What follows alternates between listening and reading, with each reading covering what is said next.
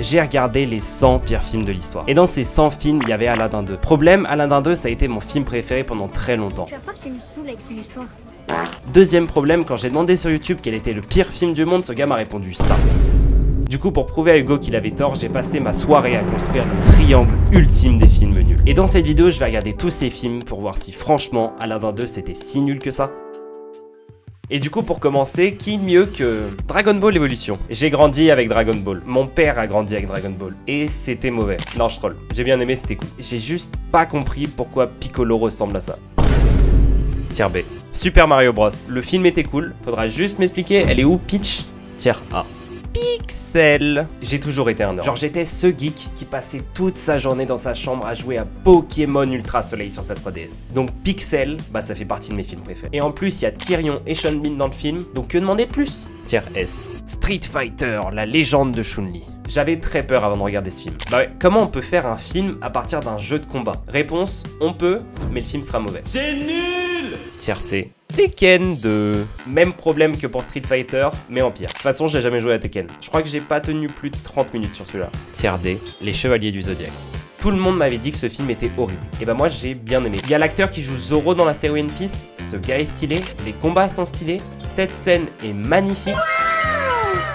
Bref, le film est cool. Et en plus, là aussi, il y a Sean dans le film. Tiens, A. Death Note un mec qui peut tuer des gens avec un cahier, un autre qui s'assoit bizarrement, et un démon de la mort. Le film respecte ces trois trucs, donc c'était cool. Par contre, je commençais à avoir un peu mal aux jambes. Tier B, Staying Alive. Pour l'instant, à part Pixel, il y avait aucun film dans cette vidéo que j'avais vraiment bien aimé. Mais ça, c'était avant Staying Alive. En gros, Travolta, c'est un danseur. Sauf qu'il danse pas assez bien pour être pris dans le spectacle qui a lieu chaque année à Broadway. Non. Mais c'est son rêve. Et sa meuf, elle, elle fait déjà partie de ce spectacle. Et là, il remarque une autre meuf. Mais pas sa copine. Et il tombe amoureux de cette meuf. Et donc cette meuf, c'est la star du show. Et d'ailleurs, depuis, Travolta a été accepté dedans. Et du coup, genre, tout le film, c'est sur la préparation du spectacle pour la fin de l'année et sur le triangle amoureux entre Travolta, la meuf star du show, et l'ancienne copine de Travolta. Et donc, comme en ce moment, je suis en train de me taper tous les épisodes de The Office, un triangle amoureux, je suis juste fou. Tiens, S. Cendrillon? J'ai jamais aimé les comédies musicales. La seule que j'aime un peu, c'est Singing in the Rain. Sauf que là, Cendrillon, c'est pas de ce niveau. Non, là, genre juste, tu prends Camilla Cabello, une histoire sans intérêt et des chansons toutes les 5 minutes et t'obtiens ça. Heureusement, j'avais Talici pour m'aider à survivre. Tiercé. Gigli. Tu vois qui c'est Ben Affleck? Tu vois qui c'est Jennifer Lopez? Bah là, le film, c'est juste une romance de deux heures entre les deux. Tout le monde a détesté. Moi, j'ai adoré. Tiens, A. Je pouvais pas faire une vidéo sur les pires films de l'histoire sans parler des films de requins. Du coup, j'en ai regardé 11. The Requin. Le film s'appelle The Requin, mais on voit le requin qu'après 52 minutes de film. C'est long, 52 minutes de film. Tiercé. Shark Night 3D. C'est le seul film de requin où le méchant du film, c'est pas le requin justement. Peut-être pour ça que c'était cool d'ailleurs, mais le film était pas en 3D par contre. Remboursez-moi. Tier B, Les Dents de la Mer 4. Le premier était cool, celui-là moins. C'était tellement long que j'ai joué aux échecs pendant le film. Et j'ai gagné. Donc let's go, mais pas pour le film. Tier D, Jurassic Shark. Ça, c'était une masterclass. Un vrai classique, genre. Y a rien qui va dans ce film. Les acteurs sont nuls. Les effets spéciaux, vous avez vu le requin, les gars. Pour le coup, c'est une expérience sensorielle à regarder. Faut l'avoir vu au moins une fois dans sa vie pour comprendre, je pense. Tiens, E. Mega Shark versus Mecha Shark. Bon là c'est juste un gros requin contre un autre gros requin, mais en fait cet autre gros requin c'est un robot. Cherchez pas à comprendre les gars. Tiers D. Sharknado. Là, c'est juste une tempête de requins. J'ai abandonné à ce niveau. Ah oui, il y a eu 5 suites aussi. Cherchez pas à comprendre, les gars. Ça fait un mois que j'essaye de comprendre. Tier B. One Mist Call.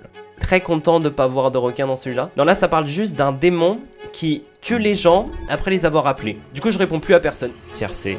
Winnie the Pooh, Blood and Honey. Tu te rappelles de Winnie l'ourson? Bah là c'est juste Winnie l'ourson mais qui tue des gens. Le film est moche, j'aime pas les films moches. Le film est gore, j'aime pas les films gore. Le film est long pour rien, je n'aime pas les films longs pour rien. Je n'aime pas ce film. Tier D. Axe. Hmm.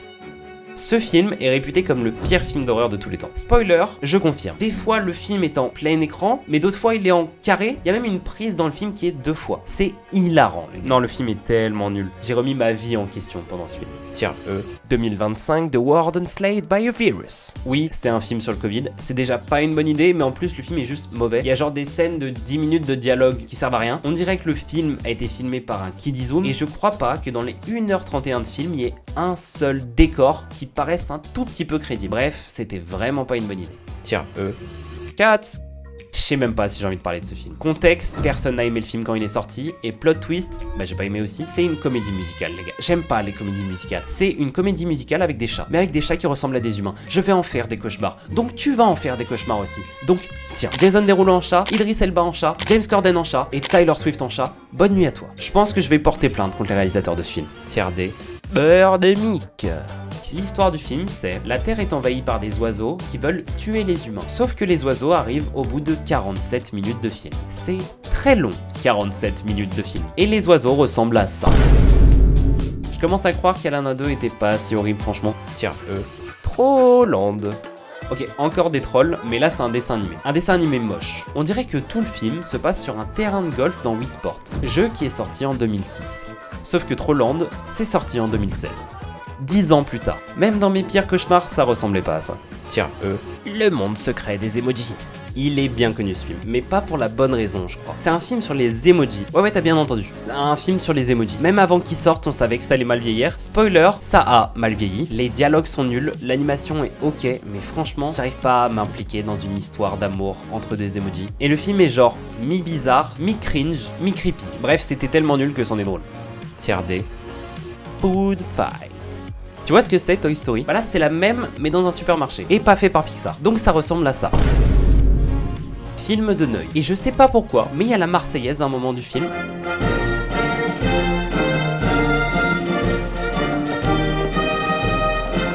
Voilà, je savais pas quoi faire de l'info, mais je voulais la placer. Tiers D.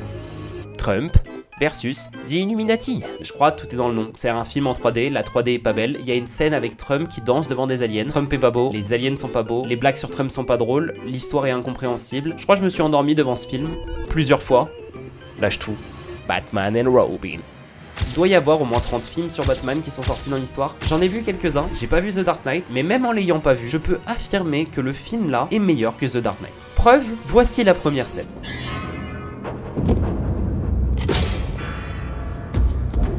Le film est globalement bizarre, mais du coup c'est drôle. Tiers C. Suicide Squad.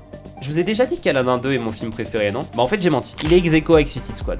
Je sais les gars, je sais que les gens aiment pas ce film. Mais moi j'adore. J'ai dû le voir genre 6-7 fois et c'est toujours autant un banger. L'intro est légendaire. Will Smith est stylé. Margot Robbie, c'est Margot Robbie les gars. Jared Leto en Joker, je sais que les gens l'aiment pas. Moi j'aime bien. Il y a du Eminem, il y a du Queen dans le film et le film a gagné un Oscar. And the Oscar goes to for Suicide Squad, Alessandro Bertolazzi, Giorgio Gregorini and Christopher Nelson. Le premier qui commente que Suicide Squad est un mauvais film, je le banne à vie de la chaîne.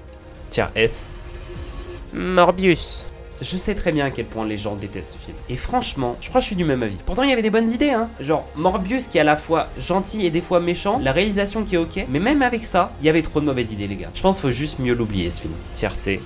Madame Webb un film avec Sidney Sweeney en Spider-Man. Ça peut être que incroyable, non? Bah non, du coup. Parce que Sidney Sweeney en Spider-Man, ça dure 30 secondes sur un film de 1h56. Mais le film est cool, les gars. Enfin, en vif. La Madame Web qui peut voir dans le futur, c'est stylé. Le reste, c'est moyen. Et par pitié, stop les zooms comme ça. Ça me donne envie de vomir. Tiers B. Les 4 fantastiques. Je connais le nom, les 4 fantastiques, je vois à peu près qui c'est. Par contre, je savais pas que Captain America en faisait partie. Tiers C. Green Lantern. Deadpool c'est très drôle. Deadpool dans un costume vert, c'est moins drôle. Et Deadpool dans un costume vert, ça vieillit mal. Je pense que les effets spéciaux de Green Lantern m'ont donné envie de casser mon écran environ 46 fois. C. Ant-Man et la guêpe, Quantumania. Je suis toujours hype quand je vois l'intro d'un film Marvel. Je pense on est tous pareils. Mais cette fois-ci, je crois que c'était le seul moment cool du film. Entre le méchant le moins charismatique de l'histoire de Marvel, ce neuil et l'histoire beaucoup trop longue et nulle, au moins j'ai rattrapé ma mauvaise nuit d'hier. Merci les gars. Tiers C. Thor, Love and Tender. Thor c'est un mec cool, genre pour de vrai. Thor c'est un mec musclé, Thor c'est un mec qui joue à Fortnite, franchement c'est un bon gars. Et le film était drôle, genre vraiment drôle. Pas le meilleur des Marvel, mais je comprends pas pourquoi les gens détestent ce film. Faudra juste m'expliquer pourquoi j'ai envie d'adopter une chèvre maintenant? Tiers B. Les parodies c'est drôle, sauf quand c'est des films et que c'est pas Scary Movie. Date Movie. C'est une parodie des comédies romantiques et je crois que je crois plus en l'amour, globalement. Et aussi, il va falloir m'expliquer cette scène, s'il vous plaît. Tiers D. Disaster Movie. C'est une parodie des films catastrophes. Et franchement, c'était drôle. En gros, le film, c'est juste une suite de références à plein de films connus pendant une heure et demie. En très rapide, j'ai repéré une ref à High School Musical, No Country for Old Men, Kanye West, Hancock, Hulk, Hellboy, Iron Man, Batman et même Michael Jackson. Bref, c'est mi-cool, mi-cringe comme film. Ah oui, et en plus, il y a Kim Kardashian dans le film, plus un panda spécialiste des arts martiaux. Tier B. Spartatouille. C'est une parodie de 300. 300 c'est un bon film. Là j'ai 300 raisons de pas aimer le film. Tier C. Ballistique. X versus Sever. Apparemment, c'est le film le plus ennuyant du monde. En tout cas, Rotten Tomatoes le dit. Et je confirme de coup. Je suis pas un gros fan des films d'action à la base, mais là, c'était nul quoi. Genre, zéro charisme, zéro émotion, zéro logique dans le script. C'était un calvaire. Je crois que c'est le film le plus vide que j'ai jamais vu. Tier D. Avatar, le dernier maître de l'air. Film de Neuil. Déjà, je sais pas pourquoi le perso principal a une flèche sur le crâne. Aussi, pourquoi ce dessin est aussi moche Et sérieux, les gars, je suis le seul à trouver ça drôle Tiercé. Fantasy Island. Avec un nom comme ça, je m'attends à un film de fou. Et c'était sympa. En fait, comme son nom l'indique, c'est genre une île où tu peux réaliser tes fantasmes. Et en fait, dans les différents fantasmes, t'en as genre un qui fait une big soirée avec des top modèles, un autre qui rentre dans l'armée parce que son père est mort dans une opération, une troisième qui torture son harceleuse du lycée, et une quatrième qui veut retourner dans le passé pour dire oui à la proposition de mariage que son ex lui avait fait il y a des années. Et donc ça a l'air cool comme film, sauf que c'était trop cliché. L'histoire est pas ouf, il y a des rebondissements toutes les 15 minutes qui servent à rien. Tier B. Happening. Ok, l'histoire est simple, il y a un virus sur Terre. Il tue tous les gens qui se regroupent. Si trop de personnes se regroupent au même endroit, c'est fini pour eux. Et pendant tout le film, on suit un boog qui fuit le virus avec sa meuf. Et c'était cool, il y a quelques moments émouvants et le rythme est sympa. Je comprends pas pourquoi la majorité des gens n'aiment pas. Tier B. Le fils du masque. The Mask est un film légendaire que j'ai jamais vu, mais j'ai regardé cette suite et c'est moi. Donc en gros, il y a ce masque. Et si par malheur t'essayes de le porter, il se met à te posséder. À un moment du film, il y a un bébé qui se retrouve par malchance à côté du masque et donc une grosse partie du film, c'est juste le bébé qui genre met la misère à son père pendant que sa mère est partie en voyage d'affaires. Sauf que c'est pas fini. Le film est sorti en 2005. Et comment en 2005, on montre à l'écran un bébé avec des super pouvoirs avec de la 3D. Du coup, c'est un cauchemar à regarder et ça résume plutôt bien mon avis sur le film. Tier C. Rebel Moon 2. Star Wars c'est cool, mais Rebel Moon c'est juste Star Wars en moins bien. Le 1 était sympa, il y avait des beaux plans et l'histoire d'une meuf qui trahit l'empire suprême des méchants pour aider un village à la campagne, c'est sympa. Le problème du 2 c'est que le film entier se passe dans un champ, alors que c'est censé être un Star Wars bis. On a des timelapses sur du blé les gars. On m'a vendu un Star Wars, je veux des gros vaisseaux qui se battent dans l'espace, donc le film est plus que moyen. Et à force j'ai juste l'impression de regarder un let's play de Farming Simulator 2024. Tier C. Megamind versus The Doom Syndicate. Je crois que j'ai commencé à développer une passion pour les mauvais films d'animation. Disclaimer par contre, j'ai jamais vu le premier Megamind. Mais l'idée d'un ancien méchant reconverti en gentil, je trouve ça drôle. Faut juste pas qu'il prenne la grosse tête. Bref, franchement, le film est moyen. C'est pas super drôle et c'est limite un peu ennuyant. Pourtant, ça aurait pu être cool parce que à un moment du film, il y a les méchants, genre du 1 qui reviennent, ok? Bonne idée ça. Sauf que Megamind, il a la tête ailleurs. Il en a par-dessus la tête, genre de jouer le méchant. Du coup, il fait un move de Big Brain, il fait semblant d'être méchant. Et c'est le film. Bon, ok, la vérité, c'est juste que je voulais placer le plus de jeux de mots sur son gros crâne. Voilà, c'est. Le film était cool. Tier C. The Kissing Booth 3 The Kissing Booth, c'est précisément le genre de film que j'aime pas. J'ai pas vu le 1, j'ai pas vu le 2, j'ai pas envie de les voir. Mais j'ai dû regarder le 3. Et j'ai eu des frissons de gêne. Les acteurs sont pas mauvais. L'histoire est ok. Le film est pas particulièrement moche. Mais je pense que je suis juste pas le profil visé et ça fait bizarre de voir Nate DeForia dans un rôle comme ça. J'ai juste une dernière question. Pourquoi on dirait qu'ils ont mis un filtre Insta sur la caméra avant de tourner? Tier C. Haters. Le retour du GOAT. Je l'ai attendu ce film. Je l'avais même regardé à sa sortie sur Prime Video. Mais pour être sûr, je voulais le revoir. Et franchement, c'est toujours aussi gaze. L'histoire du film, c'est genre Kev Adams, le youtubeur, qui va voir ses haters dans la vraie vie. L'idée est cool. Mais bon, comme le film, c'est un film sur YouTube, par des mecs qui ont pas l'air de connaître YouTube, bah ça donne un résultat mid. Par exemple, pendant tout le film, ils disent pas une chaîne YouTube, ils disent une page YouTube. Prête à dépasser le million de followers sur sa page YouTube? C'est le genre d'erreur à ne pas faire. Et pour essayer de sauver le film, il y a une apparition de Jean-Claude Van Damme et une autre de Franck Dubosc. Mais franchement, ça fait qu'enfoncer le film. Ah oui, t'as aussi 3 minutes avec Giroud qui apporte rien à l'histoire, mais ça fait 3 minutes avec Giroud. Le film aurait pu être drôle, faut juste tout changer au film. Tier C. Y a-t-il un youtubeur dans l'avion? Imagine genre un film. Sauf que ce film il est fait par des youtubeurs américains en 2019. Et dans ces youtubeurs, il y a Logan Paul. Perso, je sais déjà quoi m'attendre. Mais même avec ça, même avec ça, j'étais pas prêt à ce que j'ai. Imagine genre un film, un film de 1h17 où tu rigoles pas une seule fois. Alors que toutes les 30 secondes, le film essaye de se faire. En 1h17, t'as le temps de cuisiner un bon plat. T'as le temps de courir 10 km. T'as le temps de regarder 4 épisodes de The Office. Bah moi j'ai eu le temps de regarder ça. Tiens, euh.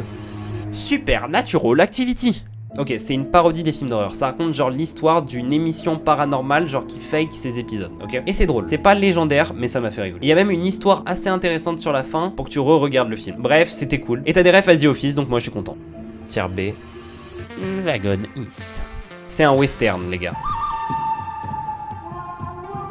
Je me sens un peu cowboy au fond de moi. Mais pour parler du film, toutes les blagues sont pas drôles. Le film est un peu long, c'est pas le genre de film qui va changer ta vie. Mais à un moment, il y a un mec qui boit de la pisse en pensant que c'est de l'alcool. Et ça, ça me fait rigoler. Tiers C. Les Dalton. Ça aussi, c'est un western, les gars. Sauf que je crois que dans celui-là, c'est impossible de rigoler au moins une fois. Tiers D. Astérix et Obélix, l'Empire du Milieu. J'arrive pas à savoir si c'était drôle ou non, ça. Astérix en végétarien, Les légumes. Les légumes. Des légumes Hein c'est pas drôle. La plupart des blagues sur la Chine, c'est pas drôle. Jonathan Cohen, c'est pas drôle, on n'est pas sur YouTube. McFly et Carlito dans le film, pourquoi les gars Mais tout le personnage de César, c'était drôle. Jules César, en personne. Je sais, ça impressionne, mais on se calme, on respire profondément et vous allez voir, ça va bien se passer. Zlatan, c'est très cool. Et Aurel San, Ouais, c'est marrant. donc en gros, c'était moyen. Tiers C. All Inclusive. J'aime pas Franck Dubosc. J'arrive pas à trouver un seul film où je le trouve drôle. Mais par contre, j'aime bien Mr. V. Du coup, j'étais un peu hype de voir ce film. Et bon, c'est pas ouf. La plupart des blagues marchent pas. Le truc du on va dans un hôtel de vacances, il y a un directeur, les clients qui foutent le bordel. On a déjà vu 32 films comme ça. Je crois pas que dans les 32 films, il y en avait un drôle. Donc All Inclusive, c'était pas drôle aussi. Tiers D.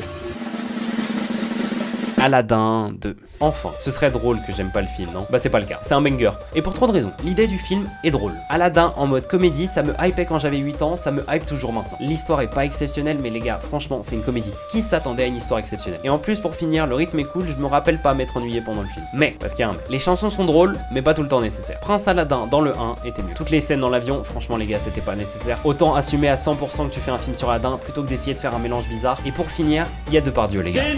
Mais bon, à 10 ans, je crushais sur Vanessa Guide, donc le film est un banger.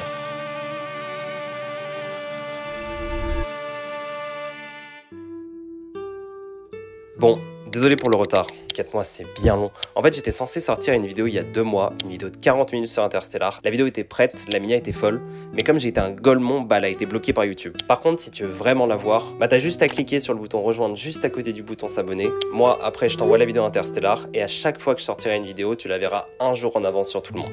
Bref, merci de m'avoir écouté. C'était Slutty. Tu vois la vidéo juste devant toi là? Euh, Apparemment YouTube ils ont dit que t'aimerais bien la vidéo. Donc euh, clique. Clique là, je t'ai dit. T'attends quoi?